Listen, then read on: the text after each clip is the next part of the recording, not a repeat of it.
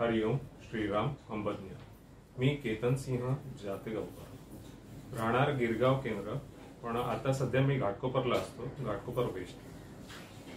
माझा अनुभव हा म्हणजे माझी मम्मी नाईन्टी सिक्सपासून बापूंकडे जायला लागली. आणि मलाही तेव्हाच कळलेलं बापूंबद्दल पण माझा योग आला नव्हता. एकोणीसशे सत्त्याण्णव साली गुरुपौर्णिमेच्या दिवशी हा माझ्या आयुष्यातला एक सुवर्ण संधी मला मिळाली की मी प्रोफेशनली इंटिरियर डिझायनर आहे. त्यामुळे डिसिल्वा हायस्कूलला बापूंचं पूर्वी प्रवचन चालायचं. आणि मी मार्केटमध्ये जेव्हा माझ्या कामानिमित्त गेलो होतो खूप गर्दी बघितली तिकडे. म्हटलं बघितलं तर बापूंचं प्रवचन तिकडे चालू होतं. अचानक माझे पाय वळले तिथे. माझी मम्मी सुद्धा तिथे असल्या कारणाने मला म्हटलं तिला घ्यायला जाईन मी. जेव्हा मी गेलो तेव्हा प्रत्यक्ष समोर आप्पासाहेब दाभोळकर होते. त्यांनी मला बोलले अरे केतन तू इथे आलास?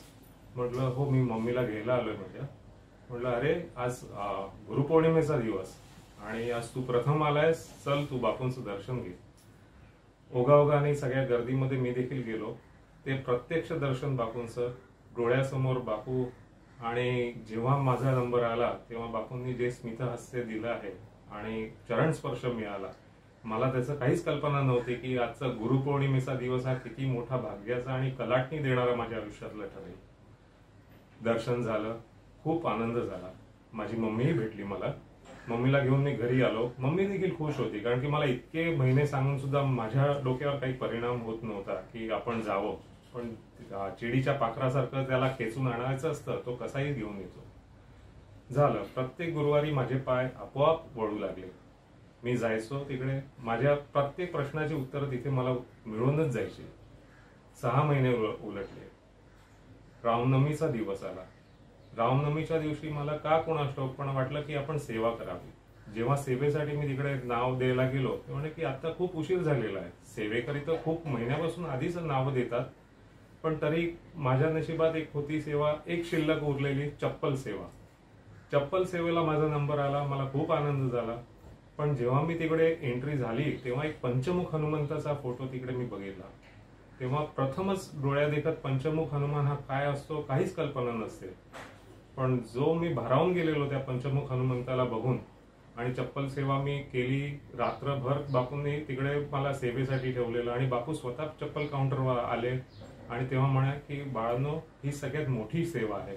बघा म्हणजे आयुष्यात पहिलं माझं भाग्य असं की मला सेवा मिळाली ती चप्पल काउंटरला आणि बापूंनी घडवून घेतली. आणि नंतर मी रात्री त्या रात्री मला झोप येईना. रात्री उठलो मी आणि बापूंना चक्क पत्र लिहिलं मी. बापू आज मी तुमच्याकडे गेली सहा महिने येतो पण ते काम्य भक्ती म्हणून का होईना पण मला माझी उत्तरं मिळतात म्हणून मी इथे येतो. पण मला कुठेतरी मनाला असं वाटतं की असं असता कामा नये मला तुमच्याकडे यायचं आहे पण माझ्याकडून आज हनुमंताचा जो मी फोटो बघितलाय पंचमुख हनुमंत मी प्रोफेशनली इंटिरियर डिझायनर आहे पण मला ते चित्र माझ्या हाताने घडेल असा मला आशीर्वाद हवा आहे तुमच्याकडून. खूप लांब लचक पत्र लिहिलं बापूंना. गुरुवारी मी ते पत्र दिलं. दुसऱ्याच गुरुवारी मला त्याचं उत्तर आलं संपूर्ण आशीर्वाद. मग मात्र माझी तारांबळ उडाली. मी लिहून तर गेलेलो ओघावघात की मला या मार्गाने भक्ती करू द्या. पण बापूंचे आता शब्द आले संपूर्ण आशीर्वाद मग नक्कीच आपण एक पाऊल टाकलं तर बापू ह्या शंभर पाऊल आपल्याकडे येणारच आहे याची मात्र खात्री झाली होती. झालं. त्याच दिवसापासून मी हे चित्र रेखाटायला सुरुवात केली. आणि तेव्हा एकदम छोटा फोटो मला मिळालेला पण बापूंची इच्छा ती. चित्र एका दिवसात पूर्ण केलं पण नंतर काही ते कशाने रंगवायचं काय रंगवायचं काही विचार केला नव्हता मी. हळूहळू हळूहळू चार एक दिवस चार महिने गेले थोडे दिवस जात आले त्याच्यामध्ये. मग असं ठरलं की आपण चारकोल पावडरमध्ये हे चित्र काढायचं. बोटाने ते चित्र काढत गेलो काढत गेलो ते जिवंत होत नव्हतं.